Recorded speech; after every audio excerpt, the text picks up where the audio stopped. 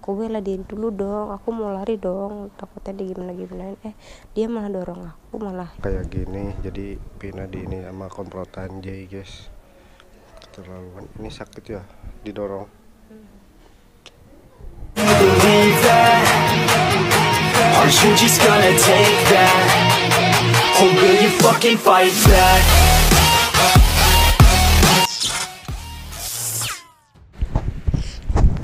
Oke guys. Jadi ini kondisi Pina sekarang.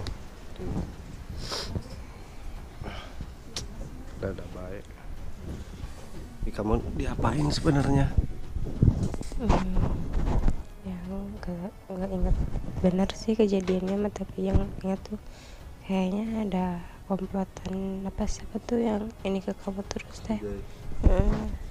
di belakang ya.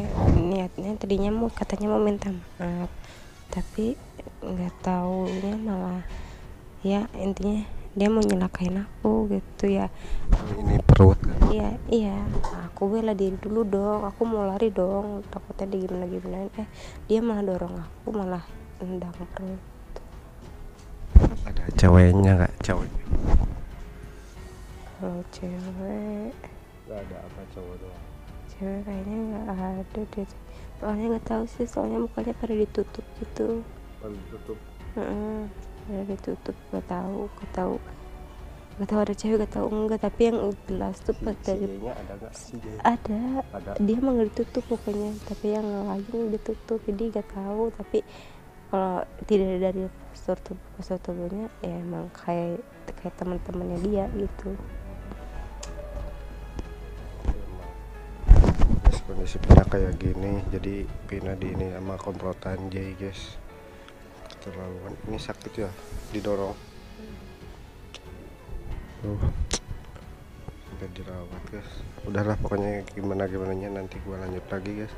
Soalnya gak enak juga di rumah sakit guys. Ya. Nanti gua lanjut guys. Jadi gua udah di luar tadi soalnya gak enak ngobrol di dalam berisik tapi kalian bisa lihat sendiri kondisi Pina kayak gimana kan? Apa sih namanya? Ini gua juga lebih ke gak enak badan guys. Gue juga lagi keserang pilek segala macem ya. Cuman ya gua harus nungguin Pina karena sumpah gua kecapean. Kecapeannya kemarin habis ngeiniin komplotan CJ ya jujur lah gue juga manusia capek gitu kan. Jadi ya gini lah jangan ke muka gua lah. Muka guanya lagi pucat guys nah jadi eh kenapa gua kemarin uploadnya cuma satu? Sebenarnya ada masih ada video si Leni cuman ya untuk video si Leni sebenarnya kondisi si Leni gak apa-apa guys ya. Nah cuman di sini yang jadi ininya yang bikin gedeknya tuh Pina di abis itu si Leni eh si Leni si Nadila tuh gua kan nganter si kronologi Pina bisa masuk LS tuh gini awalnya guys ya. Kan gua kemarin eh, ngeiniin si Nadila sama si Leni kan? Nah gua pas lagi ngantar berobat eh ngan- ngantar si Leni buat cek nah tiba-tiba pas gua pulang Pina udah pingsan. Udah pingsan gua panik. Cuman yang bikin anehnya kenapa? Pintu pada kebuka segala pada berantakan dan ternyata pas gua bawa sama ke bawanya ke klinik itu terus Pina sadar ternyata Pina digangguin sama komplotan si J guys ya. Anjir anjir. Sampai segitunya guys ya. Pina didorong sama komplotan si J sampai ya sampai pingsan gitu. Terus ya gua panik gua panik langsung gua bawa ke RS nah pas Pina apa sih namanya? Pas Pina udah nyampe klinik alhamdulillah langsung sadar. Nah di situ gue baru tanya-tanya cuman gua gak ngonten gak enak juga kan sama Pina. Nah terus dirujuk lah Pina ke RS terdekat gitu kan. Karena di sana di klinik itu kayak katanya takutnya kenapa kenapa kan kandungan Pina. Jadi Pina dirujuk ke RS yang lebih besar guys ya gitu. Anjir ada ada baik guys sumpah gue ini sebenarnya malas guys buat konten tapi gimana lagi kan? Kalian pasti bang Pina kronologi Pina gimana bang? Pasti gitu kan ya gua gua selaku ini gua pasti ngasih tahu ke kalian gimana gimana aja guys. Cuman ya gitulah gara-gara komplotan si J kandungan Pina jadi sakit. Terus Pinanya juga sampai dirawat.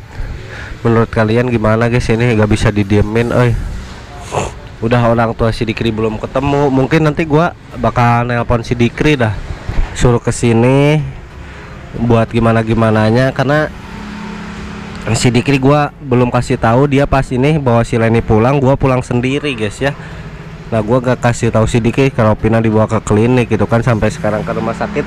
Si Dikri gak gak tahu soalnya gua gua kasih tahu guys. Mungkin nanti gua bakal kasih tahu bentar lagi biar si Dikri gua suruh ke sini dan cari cari orang yang udah nyelakain Pina guys ya. Pokoknya ini gak bisa didiemin guys. Harus di harus dikasih pelajaran lah yang setimpal gitu kan. Ini kedua kalinya gitu kompletan CJ bikin Pina dan kandungan Pina sakit kayak gini guys anjir. Gua ngomong aja ini sambil nahan emosi guys. Sumpah belibet gua. Gua kalau ngomong sambil nahan emosi suka belibet sumpah. Gak tahu kenapa. Ya mungkin kronologi ininya kayak gitu guys. Mungkin buat gimana gimananya nanti gua lanjut. Yang penting kalian support gua dukung gua jangan sampai enggak tonton tonton terus video-video gua. Karena tanpa kalian gua gak bakal semangat guys. Asal doain juga lah. Pina dan kandungannya gak apa-apa. Biar Pina cepat pulih lagi biar Pina cepat kembali beraktivitas seperti biasa. Karena ya eh, apa sih namanya? Yang namanya yang lagi hamil itu harus bener-bener dijagainnya guys sensitif lah sensitifnya eh apa ya? Sensitif lah lagi berbadan dua kan? Lagi berbadan dua terusan eh ya kalian tahu sendirilah kalau berbadan dua gimana sensitifnya guys. Nah, kayak gitu tuh. Aduh ada-ada baik ya Allah. Mudah-mudahan cepat inilah tadi juga gua nanya-nanya final gak terlalu ini ini amat cuman dia yang pasti ada CJ udah pasti itu kompletan CJ nggak mungkin bukan guys ya. Tadi juga gua nanya kan itu yang ini kompletan CJ apa bukan? Terus iya CJ nya ada juga. Udah ini gak bisa didiemin ya kompletan CJ udah udah keterlaluan udah di luar batas. Sampai kedua mau kedua kalinya dia uh, nyelakain kandungan istri gua amit-amit takut kejadian apa-apa guys. Aduh.